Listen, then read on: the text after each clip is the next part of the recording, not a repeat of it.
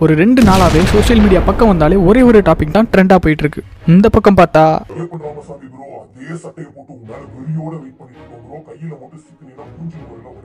அந்த பக்கம் பார்த்தா அந்த இடத்துல வந்து விஜய்க்கு போட்டியாக இவர் நடத்துறாரு.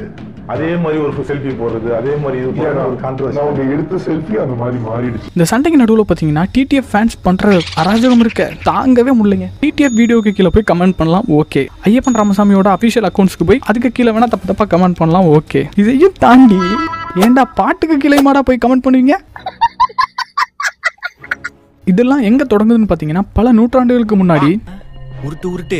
தொடங்கினதுலாம் இல்லைங்க. வெறும் ஒரு ரெண்டு மாதம் முன்னாடி நம்ம டிடிஎஃப் வந்து இந்தியா கிளிட்ஸுங்கிற சேனலுக்கு ஒரு இன்டர்வியூ கொடுத்துருப்பாரு. அந்த இன்டர்வியூரை ஹோஸ்ட் பண்ணவர் தான் நம்ம ஐயப்பன் ராமசாமி.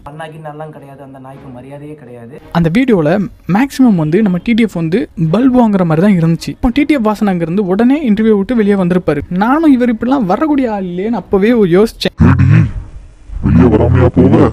அப்படிங்கிற மாதிரி அவர் எந்திரிச்சு போயிருப்பாரு. அதை நிரூபிக்கிற மாதிரி இதாக வந்துட்டான்ல. இந்தா வந்துட்டேன் ராசா. அப்பவே எனக்கு ஒரு சின்ன சந்தேகம் இருந்தது. ரெண்டு மாசத்துக்கு அப்புறமா டிடிஎஃப் இப்போ போட்ட வீடியோல பாத்தீங்கன்னா அவ்வளோ ஒரு வன்மம். நான் கூட அவங்க முதல் இன்டர்வியூல பேசிட்டு இருக்கும்போது சொல்லி வச்சுட்டு தான் பேசிட்டு இருந்திருக்காங்கன்னு நினைச்சு நானும் விட்டுட்டேன். இப்போதான் தெரியுது அது வந்து உண்மையாவே டிடிஎஃப் வாசனுக்கு எதிராகவே ஷூட் பண்ணப்பட்ட ஒரு வீடியோ அப்படின்னு. இதை தொடர்ந்து பாத்தீங்கன்னா ரெண்டு மாசத்துக்கு அப்புறமா இப்போ வந்து நம்ம ஐயப்பன் ராமசாமி வந்து அண்ணாக்கி நல்லாம் கிடையாது அந்த நாய்க்கு மரியாதையே கிடையாது. லஞ்சம் வாங்குற மாதிரி ஒரு வீடியோ வெளியா இருக்கு நானும் அந்த வீடியோ முழுசா பார்த்தேன். அவரோட தொழிலுக்கு எதிராக தான் நடந்திருக்காரு. மற்றவங்களை டிஃபேம் பண்றதுக்காக காசும் வாங்கியிருக்காரு. அதாவது ஒருத்தன் கீழ இருந்து மேலே வந்த உடனே அவனை வந்து தரக்குறவா பேசி திரும்ப கீழே இறக்கிடலாம்னு நினைக்கக்கூடியவங்க இன்னும் இருக்காங்களே நினைச்சு நானும் கோபம் தான் பட்டேன். இதே மாதிரி தான் இந்த வீடியோ பார்த்து டிடிஎஃப் ஆத்திர அடைஞ்சிருக்காரு போல. உடனே ஒரு வீடியோ அவருக்கு எதிராக போட ஆரம்பிச்சிட்டாரு. கையில மட்டும் சிக்கினீங்கன்னா மூஞ்சி.